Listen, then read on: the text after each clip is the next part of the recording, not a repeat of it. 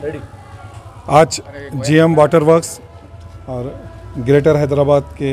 Executive engineer Radhika madam के साथ माजिद साहब और जकी साहब आरिफ साहब के साथ वाटर वर्क्स और जीएचएमसी के आला अहदेदारों के साथ दारब जंगली और आतराफ इकनाफ का दौरा किया गया है। सबसे बड़ा इशू यहाँ पर पानी का बहुत बड़ा इशू चला पत्थरगट्टी के अंदर। ख़ास तौर से दारब जंग गली में,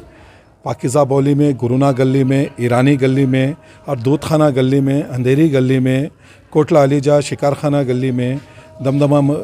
और मगलपुरे के अंदर बाबू सलाम मस्जिद की गली में बहुत बड़ा इशू यहाँ पर पानी का चला। यहाँ पर पानी में इतना पोल्यूशन आ रहा है यहाँ पर। लोग इस्तेमाल करना तो दूर की बात है हा, हाथ लगाना गवारा नहीं कर रहे तो हम जीएम साहब बैरिस्टर असदुद्दीन अवैसी साहब की हिदायत पे यह दौरा किया जा रहा है यहाँ पर और आला अहदेदारों से रबता क़ायम करके इनको यहाँ बुलाया गया है और इनको फ़र्दन फ़र्दन लोगों से मिलाया गया है और घर से पानी बताया गया है कि भाई बोरिंग के अंदर भी फालतू गंदा पानी आ रहा, जो ड्रेनेज का पानी अंदर से मिक्स हो रहा बोर का पानी भी उसमें गंदा पानी आ रहा तो हम जीएम साहब से गुजारिश करें थोड़े थोड़े जो काम है जो इमीडिएट ख़ास तौर से पोल्यूशन का, थोड़े कैच पिट का, और राधिका मैडम से भी हम गुजारिश करें तो दोनों आला अहदेदारों ने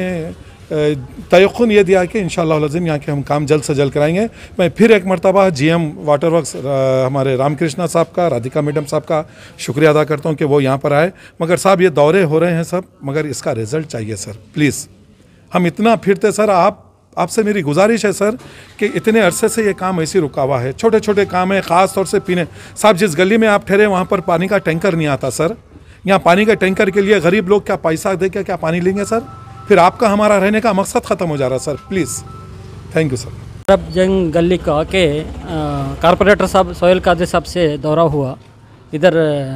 sewerage issues and water issues observe करें सीवरेज दो गली में पूरा, बहुत पुराना लाइन है। ये पूरा बदलाने का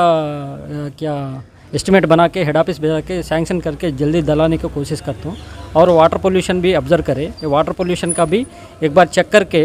सप्लाई आवर्स में चेक करके वो पानी का मिसला कैसा चल रहा, वो पोल्यूशन क्लियर करके रेक्टिफिकेशन करना, नहीं तो और लाइन भी बदलाना, वो भी कर सकते। और दूसरा इश्यूज़ भी पूरा नोट कर लेके क्लियर करने के कोशिश कर रहे वाटर बोर्ड से वो क्लियर कोशिश करने को हम कोशिश करते थैंक यू